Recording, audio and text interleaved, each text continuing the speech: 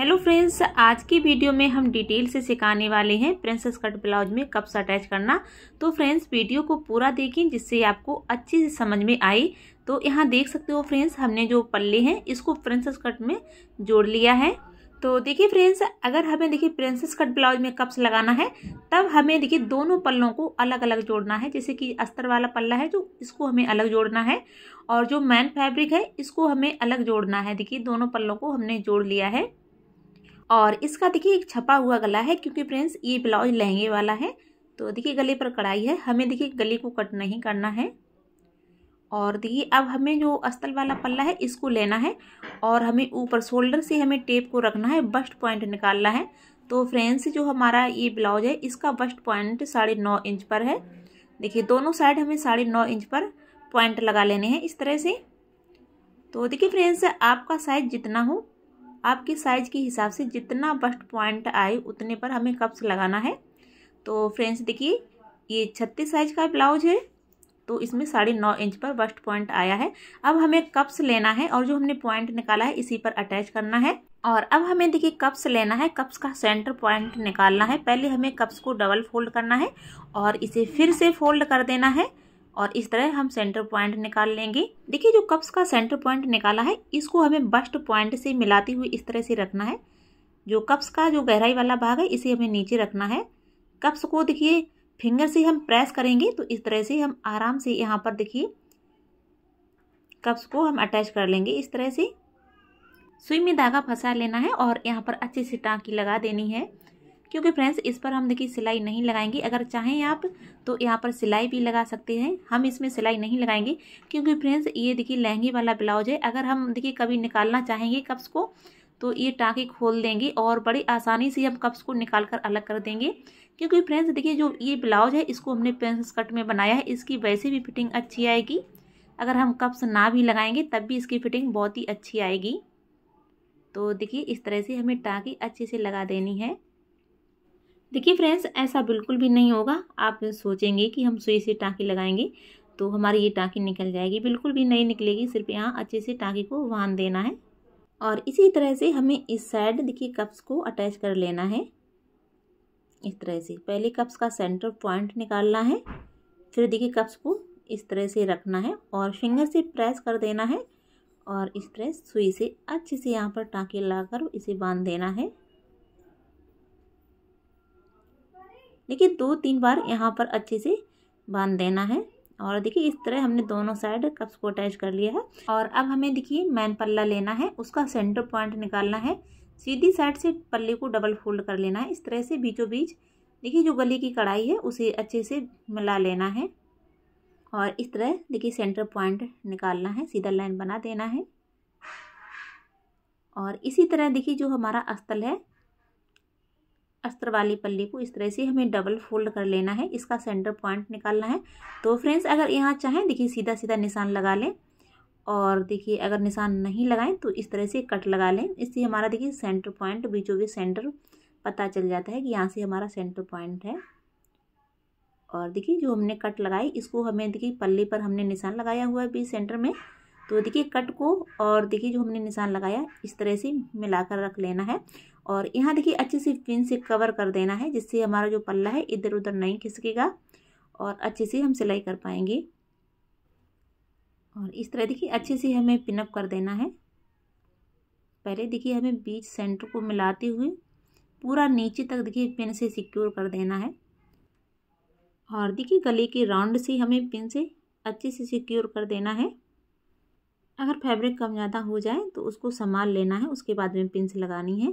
देखिए फ्रेंड्स अगर आपके पास पिन ना हो तो देखिए सुई में धागा फंसा लेना है और देखिए जिस तरह से हमने पिंस अटैच की हैं, उसी तरह से आप बड़ी बड़ी टाँके लगा लेने हैं। तो देखिए फ्रेंड्स हमारा जो ये गला है, ये नीचे से चौड़ाई में ज़्यादा है, इसे हम कम करेंगे। तो इस तरह हमें पहले निशान लगा लेना है, उसके बाद में सिलाई लगानी है। तो देखिए हम लगभग हाफ़ इंच देखिए कम करेंगे गले को। पहले हमें निशान लगा लेना है, उसके बाद में सिलाई लगानी है। इससे क्या है फ्रेंड्स? हमारा कहीं से भी गला कम ज़्यादा नहीं होगा, बराबर आएगा। निशान लगाते समय ध्यान रखें फ्रेंड्स, जब हमारा निशान बिल्कुल सही आ जाए, उसके बाद में ही सिलाई लगानी है। और देखिए, जिस तरह हमने निशान लगाया, उसी पर हमने सिलाई लगाई हुई है। अब हमें देखिए बीच वाले फैब्रिक को कट कर देना है। सिलाई से दो पॉइंट फैब्रिक को छोड़ते हुए एक्स्ट्रा फैब्रिक कट कर देना है इस तरह से। देखिए फ्रेंड्स अगर आपका गला बड़ा हो, तभी देखिए हमें निशान लगाना है। नहीं तो जिस तरह से हमारी देखिए गले पर कढ़ाई है, उसी पर हमें उसके किनारे किनारे सिलाई लगा देनी है। और इस तरह जो मार्जिन है दो पॉइंट का, इस पर हमें कट लगा लेने हैं। इस तरह से हल्के हल्के ज़्यादा गहराई से नहीं लगाने हैं, नहीं तो सिलाई कट जाए। और इसी तरह से हमें देखिए बॉटम की साइड सिलाई लगा लेनी है। अच्छे से देखिए पल्ले को अच्छे से मिला लेना है, कहीं से कम ज़्यादा ना हो। देखिए फ्रेंड्स हाफ़ इंच का मार्जिन छोड़ते हुए बराबर पर सिलाई लगा देनी है, क्योंकि फ्रेंड्स कटिंग करते समय हमने हाफ़ इंच बॉटम की साइड मार्जिन लिया हुआ है तो हमें हाफ़ इंच दबाते हुए इस तरह से सिलाई लगा देनी है।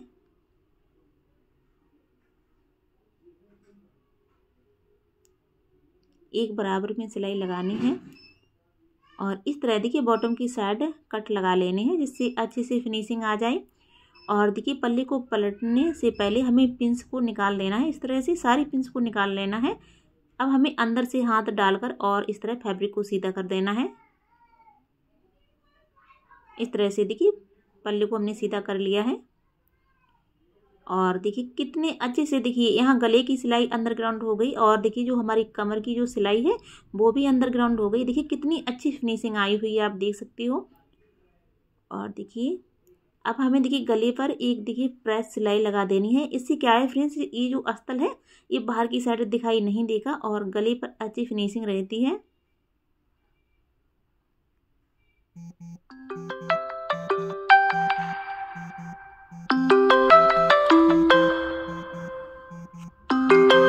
ध्यान रखना है फ्रेंड्स, सिलाई को बिल्कुल किनारे किनारे लगानी है।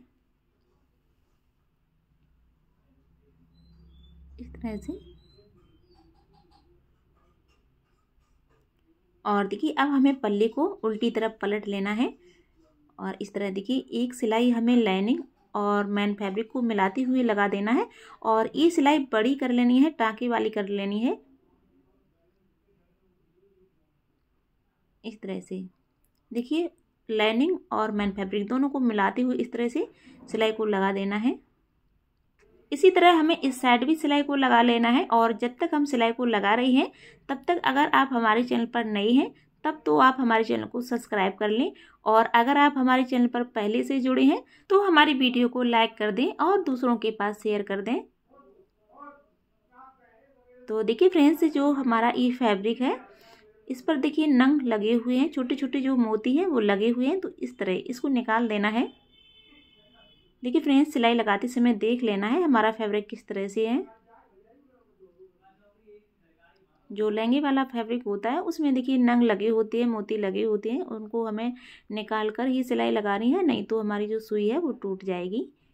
और देखिए फ्रेंड्स, इस साइड हमारा हल्का सा यहाँ पर फैब्रिक एक्स्ट्रा है, इसको हमें कटिंग कर देना है। और इस तरह देखिए हैंड से प्रेस करके कप्स को सीधा कर लेना है। और ये इसका बॉर्डर है, इसको हम अटैच कर लेंगे इस तरह से कमर बेल्ट पर। देखिए जो प्लेन फैब्रिक है, इसको हम अंदर की तरफ़ फोल्ड करके और इस तरह से अटैच कर देंगे। इस तरह देखिए देखकर हमें सिलाई लगानी है। जो ये प्लेन फैब्रिक है, ध्यान रखना फ्रेंड्स जो प्लेन फैब्रिक है, इसको ही हमें अंदर की तरफ़ फोल्ड करना है। और देखिए, इसी तरह देखिए, हमें इस तरह ऊपर की साइड हमें फोल्ड करके सिलाई लगा लेनी है, क्योंकि फ्रेंड्स देखिए, जो चौड़ा बॉर्डर होता है, उसमें हमें दोनों साइड सिलाई लगानी होती है, तभी हमारा बॉर्डर अच्छे से सिक्योर होता है। अब हम इसका पूरा फाइनल लुक दिखाएँगे। तो फ्रेंड्स इसका पूरा आप फाइनल लुक देख सकते हो। तो फ्रेंड्स हम आप लोगों से उम्मीद करेंगे, आप लोगों को ये वीडियो ज़रूर पसंद आया होगा। अगर वीडियो पसंद आई तो वीडियो को ज़्यादा से ज़्यादा लाइक करें और दूसरों के पास शेयर करें। Thank you